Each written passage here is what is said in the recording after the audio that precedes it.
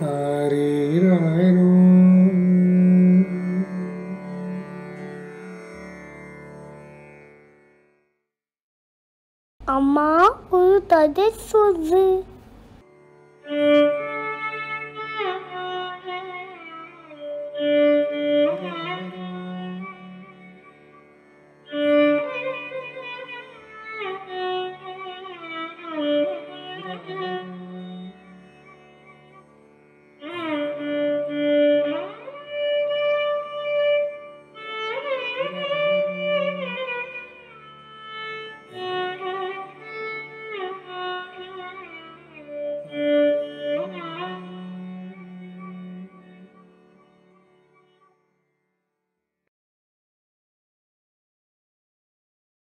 ராதே கிருஷ்ணா.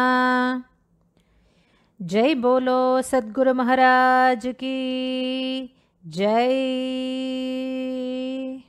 இன்னைக்கு நம்ம என்ன கதை கேட்க போகிறோம் சிவபெருமான் இருக்கார் இல்லையா? சிவா உமாச்சி அவர் நிறைய இடங்களில் லிங்கஸ்வரூபமாக காட்சி கொடுக்குறார். அதாவது நிறைய கோவில்களில் அவர் லிங்கமாக இருக்கார். லிங்கஸ்வரூபமாக அவரை நம்ம வந்து போய் பார்த்து சேவிக்கிறோம் கும்பிடுறோம். இதில் ஜோதிர்லிங்கங்கள் அப்படின்னு சொல்கிறோம் அதாவது ஜோதிர்லிங்கம். ஜோதிர்லிங்கம்னா என்ன அப்படின்னா சிவபெருமான் இருக்கார் இல்லையா? அவர் ஜோதி ஸ்வரூபமாக ஜோதினா லைட். அந்த ஜோதி ஸ்வரூபமாக லிங்க வடிவத்தில் சிவபெருமான் நிறைய இடத்துல இருக்கார். அதில் பன்னெண்டு இடங்கள் ரொம்ப விசேஷம். அதை நம்ம பன்னிரெண்டு ஜோதிர்லிங்கங்கள் டுவெல் ஜோதிர்லிங்காஸ் அப்படின்னு சொல்கிறோம் அதில் ஒரு ஜோதிர்லிங்கம் எப்படி வந்தது? பகவான் அங்கே யாருக்காக வந்தார்? எப்படி வந்தார்? சிவபெருமான் அங்கே எப்படி வந்தார்? அந்த ஒரு ஜோதிர்லிங்கம் எப்போ உருவாச்சு? அப்படிங்கிறத இன்னைக்கு பார்ப்போமா? ஒரு ஊரில் ஒரு டீமன் இருந்தான். ஒரு ராட்சசன் இருந்தான். அவன் பேர் தாருகா. அவனுடைய மனைவி பேர் தாருகி. இவா ரெண்டு பேரும் துர்கா தேவியை குறித்து நிறைய தபஸ் பண்ணான். நிறைய பிரார்த்தனை பண்ணிண்டா துர்கை தேவியை. அப்போது அவளுக்கு துர்கா தேவியுடைய தரிசனம் கிடைக்கிறது. துர்கா தேவி இவாளுக்கு காட்சி கொடுக்குறா இல்லையா? கொடுத்துட்டு உங்களுக்கு என்ன பூன் வேணும்? அதாவது என்ன வரம் வேணும் கேளுங்கோ நான் தரேன். அப்படின்னு சொல்கிறா உடனே இந்த தாருக்கா சொல்கிறான் அம்மா நாங்கள் வந்து செல்வ செழிப்போடு இருக்கணும். நாங்கள் நல்ல ரிச்சாக இருக்கணும். அதுக்கு நீங்கள் என்ன பண்ணணும்? எங்களுக்கு ஒரு நகரம் கொடுக்கணும் அமைச்சு கொடுக்கணும். அதாவது ஒரு சிட்டி அதை வந்து யாராலையும் அழிக்க முடியாத மாதிரி இருக்கணும். அங்கே ரொம்ப அழகான கார்டன் நந்தவனம்லாம் இருக்கணும் அப்படின்னு சொல்லி கேட்குறான் உடனே துர்கா மாதா என்ன சொல்கிறா சரி தாருக்கா தாருக்கி நீங்கள் என்ன வரம் கேட்டேலோ அதை நான் உங்களுக்கு தரேன். ஆனால் ஒரே ஒரு வார்னிங் ஒரே ஒரு எச்சரிக்கை. நீங்கள் நல்ல வாழாக வாழணும். நீங்கள் ஏதாவது தப்பான காரியம் பண்ணீலோ இல்லாட்டி நல்ல வாழை கஷ்டப்படுத்தினேலோ இந்த மாதிரி ஏதாவது பண்ணினேல்னா கண்டிப்பாக நீங்கள் அழிஞ்சு போயிடுவேல். இதை ஞாபகம் வச்சுக்கோங்க எப்போவுமே நல்லவாளாக இருங்கோ அப்படின்னு துர்கா மாதா சொல்கிறா இவாளும் சரிம்மா அப்படின்னு சொல்கிறா துர்கா மாதா அவளுக்கு கிருப்பை பண்ணுறா கிருப்பை பண்ணிட்டு கிளம்புறா. துர்கா தேவியுடைய கிருப்பையினால் இவாளுக்கு ஒரு நகரம் உருவாகிறது. அதாவது சிட்டி ரொம்ப பெருசு. ரொம்ப பெருசாக ஒரு சிட்டி உருவாகிறது. இவா கேட்ட மாதிரியே அங்கே வந்து பெரிய கார்டன் நந்தவனம் எல்லாம் உண்டாகிறது. அந்த சிட்டி கடலுக்கு பக்கத்தில் இருக்குது கடற்கரையில் இருக்குது சரியா? இப்போ இவா சந்தோஷமாக வாழறா. ஆனால் கொஞ்ச நாளில் இவாளுக்கு அகம்பாவம் வருது. நம்ம ரொம்ப சக்திசாலி. நம்ம நினச்சா என்ன வேணால் பண்ணலாம். நம்மளை யாராலையும் அழிக்க முடியாது அப்படிங்கிற எண்ணம் வர ஆரம்பிக்கிறது. அந்த எண்ணம் வந்த உடனே என்ன பண்ணுறா எல்லா மனுஷாலையும் தொந்தரவு பண்ணுறா எல்லாரையும் கஷ்டப்படுத்துகிறா எப்படி முடியுமோ மக்களை கஷ்டப்படுத்துகிறா அவளை வந்து ஃபிசிக்கலி ஹெராஸ் பண்ணுறது அவ அதாவது அவளுக்கு அவள் மேலே எதையாவது கல்லை தூக்கி போடுறது இல்லைன்னா அவளை கஷ்டப்படுத்துறது அவளை துன்புறுத்துறது அவள்கிட்டருந்து பொருட்களை அபகரிக்கிறது அதாவது ஸ்நாட்ச் பண்ணுறது திங்ஸை இந்த மாதிரி நிறைய கஷ்டங்கள் கொடுக்குறா மக்களுக்கு. மக்கள் ரொம்ப வருத்தப்பட்டுருக்கா. அப்போது ஔரவா அப்படின்னு ஒரு ரிஷி அந்த பக்கம் வரார்.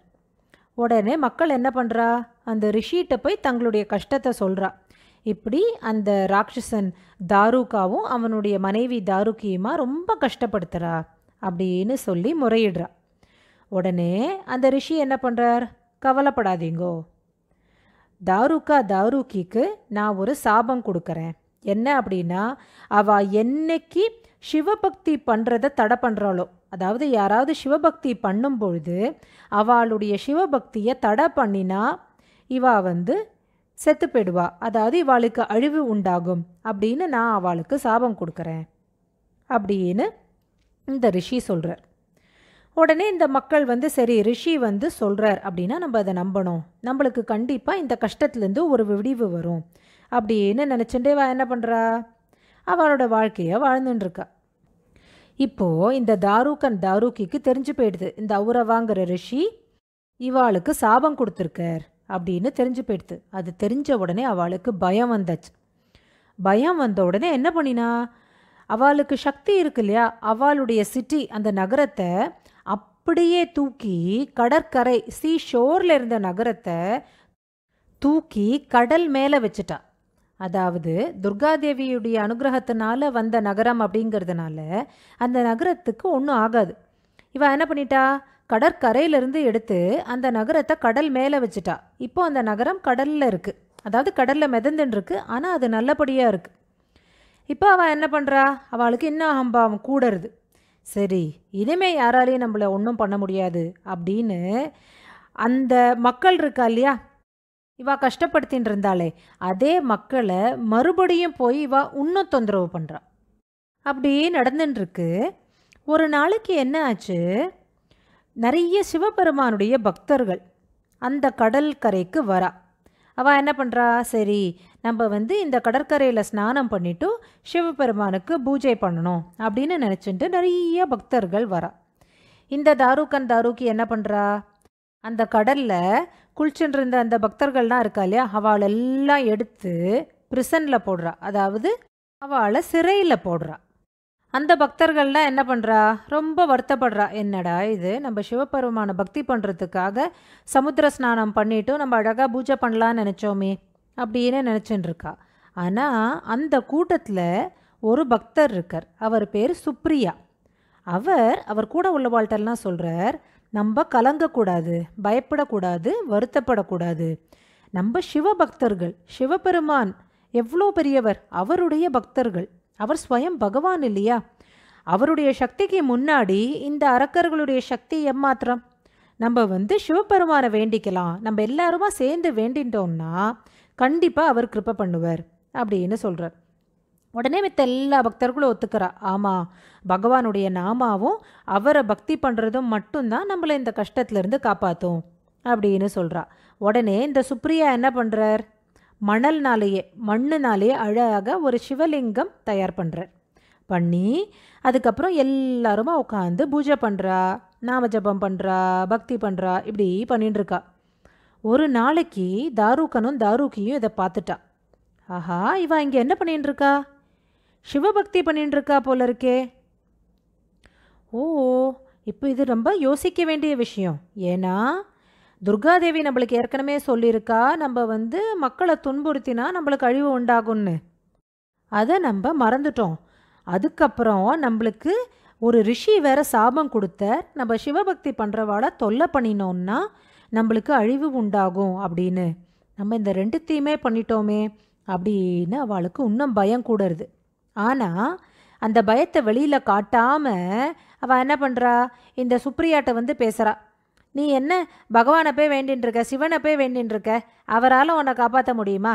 நான் உன்னை சிறையில் போட்டிருக்கேன். என்னோட சக்திக்கு முன்னாடி அவர் எம்மாத்திரம் அப்படின்னு எல்லாம் அவருடைய பக்தியை குலைக்கிறதுக்கு முயற்சி பண்ணுறா அதாவது அவருடைய டிவோஷன் இருக்கு இல்லையா ஃபெய்த் அதை வந்து நம்ம எப்படியாவது மாற்றிடணும் அப்படின்னு இவா ட்ரை பண்ணுறா ஆனால் இந்த சுப்ரியாவும் அவர் கூட பக்தி பண்ணிட்டு இருக்கிறவா எல்லாரும் ரொம்ப திடமாக இருக்கா. இவா எல்லாரும் ஓம் நம சிவாய ஓம் நம சிவாய ஓம் நம சிவாய ஓம் நம சிவாயன்னு பகவான் சிவபெருமானுடைய நாமாவை ஜபிச்சுட்டே இருக்கா. பகவானே நீ தான் எங்களுக்கு அப்பா நீ தான் எங்களுக்கு அம்மா நீ தான் எல்லாமே எங்களுக்கு. நீ எத்தனை பேரை காப்பாற்றிருக்க நீ எவ்வளோ பெரிய பலசாலி. உன்னுடைய பக்தர்களை நீ கண்டிப்பாக காப்பாற்றுவியே அப்படின்னு சொல்லிட்டு நாங்கள் எல்லாம் உங்கள்கிட்ட சரணடைகிறோம் எங்களை காப்பாத்துங்கோ. இந்த ராட்சசர்கள்ட்ட இருந்து எங்களை காப்பாத்துங்கோ அப்படின்னு இவா பக்தி பண்ணிட்டு இருக்கா பகவான் சிவபெருமான்கிட்ட பிரார்த்தனை பண்ணிட்டு இருக்கா இப்போ இவளுடைய பிரார்த்தனைக்கு சிவபெருமான் என்ன பண்ணார்? அவர் ஸ்வயம் வந்துட்டார். வந்து அவருடைய ஆயுதம் இருக்கே சூலாயுதம். அதை வச்சுண்டு தாரூக்கனையும் தாரூக்கியையும் வதம் பண்ணிடுறார். இவருடைய சக்திக்கு முன்னாடி அவா எம்மாத்திரம் அவர் அவா ரெண்டு பேரையும் வதம் பண்ணியாச்சு. இப்போ அந்த பக்தர்கள்ட்ட சிவபெருமான் என்ன சொல்றார்? நீங்க இதே நகரத்துல இருங்கோ. உங்க எல்லாரையும் காப்பாத்துறதுக்காக நான் இங்கேயே இருக்கேன். யாரெல்லாம் சரியான வழியில இருக்காளோ யாரெல்லாம் என்ன பக்தி பண்றாளோ இங்க வந்து அவ வேண்டிண்டா அப்படின்னா நான் அவளுக்கு அனுகிரகம் பண்ணுவேன். இங்கே நான் வந்து லிங்க ஸ்வரூபமா இருக்கேன் அப்படின்னு சொல்லி பகவான் சிவபெருமான் இவாளுக்கு ஆசீர்வாதம் பண்றார். அந்த இடத்துல ஒரு ஜோதிர்லிங்கம் உருவாகிறது. மக்களுக்கெல்லாம் ரொம்ப சந்தோஷம் பக்தர்களுக்கெல்லாம் ரொம்ப சந்தோஷம். அவள் பகவானுக்கு நன்றி சொல்லிட்டு அழகாக அந்த இடத்துல பக்தி பண்ணிட்டு இருக்கா அந்த லிங்க ரூபத்தை ஒரு அஞ்சு தலை நாகம் வந்து பக்தி பண்ணுறது அந்த லிங்க ரூபத்துக்கு பணிவிட பண்ணி வேண்டிக்கிறது. அதுக்கு முக்தி கிடைக்கிறது. அதனால அப்போலிருந்து அந்த இடத்துக்கு ஒரு பேர் வந்தது. என்ன இடம்? நாகேசம். அதனால இந்த ஜோதிர்லிங்கத்துடைய பெயர் நாகேசம் அப்படின்னு ஆயிடுது. கொஞ்ச காலத்துக்கு அப்புறம் இந்த மகாபாரதம் சமயத்துலலாம் என்ன ஆச்சுன்னா இந்த நாகேசம் வந்து சமுத்திரத்துக்கு கீழே போயிடுது. சமுத்திரத்துக்கு மேலே தானே அந்த நகரம் இருந்தது. அந்த நகரத்தில் தான் இந்த சிவபெருமானுடைய லிங்கம் இருந்தது. அந்த லிங்கம் தண்ணிக்குள்ளே போயிடுது. மகாபாரதம் காலத்தில் பஞ்சபாண்டவர்கள் வந்து இங்கே வரா இந்த இடத்துக்கு வரா. வந்துட்டு அவ தேடுறா. இங்கே நாகேசம்னு ஒரு சிவபெருமானுடைய ஜோதிர்லிங்கம் இருந்ததே. அது இப்போ காணுமே எங்கே போச்சு அப்படின்னு அந்த ஊர் மக்கள்கிட்ட எல்லாம் கேட்குறா அங்கே தேடுறா. அப்போ அந்த ஊர் மக்கள் சொல்கிறா தர்மபுத்திரரே மகாராஜா அந்த நாகேசம் லிங்கம் இருக்கு இல்லையா? ஜோதிர்லிங்கம். அது தண்ணிக்கு கீழே போயிடுது. அப்படின்னு சொல்கிறா உடனே பாண்டவர்களுக்கு வந்து ரொம்ப வருத்தமாக போயிடுது. ஆஹா நம்ம சிவபெருமானை சேவிக்கலாம் அப்படின்னு வந்தோமே பார்க்க முடியலையே அப்படின்னு யோசிக்கிறா. அப்போது யுதிஷ்டர் சொல்கிறார் பீமா நீ வந்து சிவபெருமானுடைய ரொம்ப நல்ல பக்தனாச்சே. நீ இந்த லிங்கத்தை வெளியில் கொண்டு வா. கொண்டு வரத்துக்கு என்ன பண்ணலாம்? அப்படின்னு யோசி அப்படின்னு சொல்கிறார் உடனே பீமன் என்ன பண்ணுறார் அவர் சிவபெருமானை நல்ல பிரார்த்தனை பண்ணிண்டு அவர் சொல்கிறார் நான் வந்து என்னுடைய கதையால் இந்த தண்ணியை அடிக்கிறேன். அப்போ அந்த தண்ணி விலகி சுவாமியுடைய லிங்கம் வெளியில் வரத்துக்கு நம்ம பிரார்த்தனை பண்ணிக்கலாம். அப்படின்னு சொல்லிட்டு பீமன் என்ன பண்ணுறார் அழகாக தன்னுடைய கதையை வச்சு அந்த தண்ணி மேலே ஓங்கி ஒரு அடி தொபால்னு போடுறார். உடனே தண்ணி வழி விட்டு அழகாக இந்த லிங்கம் ஜோதிர் லிங்கம் இருக்கு இல்லையா அது அழகாக வெளியில் வருது. வந்த உடனே பாண்டவர்களுக்கெல்லாம் ரொம்ப சந்தோஷம். ஆஹா பகவானே நீங்கள் எங்களுக்கு கிருப்பா பண்ணிட்டேல். உங்கள் பக்தர்களுக்கு அனுகிரகம் பண்ணுறதுக்காக நீங்கள் ஜல்லத்துலேருந்து வெளியில் வந்துட்டேல் அப்படின்னு சொல்லி ரொம்ப பிரார்த்தனை பண்ணிக்கிறா ரொம்ப நன்றி சொல்கிறா சிவபெருமானுக்கு. அப்போது சிவபெருமான் இவாளுக்கு காட்சி கொடுக்குறார். காட்சி கொடுத்துட்டும் அவளுக்கு அனுகிரகம் பண்ணுறார் அப்போது பாண்டவர்கள் கேட்டுக்கிறா பகவானே நீங்கள் இனிமேல் தண்ணிக்கு கீழே போகாமல் தண்ணிக்கு மேலேயே இருந்து எல்லார் கண்ணுக்கும் தெரியற மாதிரி வெளியிலேயே இருந்து எங்களுக்கு அனுகிரகம் பண்ணுங்கோ. இந்த பூமியில் இருக்கிறவா எல்லாரும் உங்களை வந்து நமஸ்காரம் பண்ணி உங்களை சேவிக்கிற மாதிரி அனுகிரகம் பண்ணுங்கோ. அப்படின்னு சொன்ன உடனே சிவபெருமான் சொல்கிறார் கண்டிப்பாக அப்படியே ஆகட்டும். நான் உங்களுக்கு இந்த அனுகிரகம் பண்ணுறேன் அப்படின்னு சொல்லி அப்போலேருந்து அந்த நாகேஷம் இடத்துல இருக்கிற ஜோதிர்லிங்கம் இருக்கு இல்லையா? அது தண்ணிக்கு கீழே போல. அப்படி நாகேஷங்கிறது ரொம்ப பிரசித்தமான ரொம்ப ஃபேமஸ் ஒரு இடம். பன்னெண்டு ஜோதிர்லிங்கங்களில் ஒன்று இப்பையும் ஆயிரக்கணக்கான சிவபக்தர்கள் இங்கே வந்து சிவபெருமானை தரிசனம் பண்ணுறா இந்த நாகேஷம் எங்கே இருக்குது இது எங்கே இருக்குன்னா குஜராத்தில் இருக்குது துவாரகா இருக்கு இல்லையா? பகவான் கிருஷ்ணன் துவாரகாதீசனாக ராஜ்யம் பண்ணானே. அந்த துவாரகா பக்கத்தில் தான் இந்த நாகேசம் அப்படிங்கிற ஜோதிர்லிங்கம் இருக்குது நம்ம எல்லாரும் பகவான்கிட்ட வேண்டின்றோம்னா நம்மளுக்கும் அங்கே போய் அந்த ஜோதிர்லிங்கத்தை தரிசனம் பண்ணுற பாக்கியம் கிடைக்கும். ராதே கிருஷ்ணா.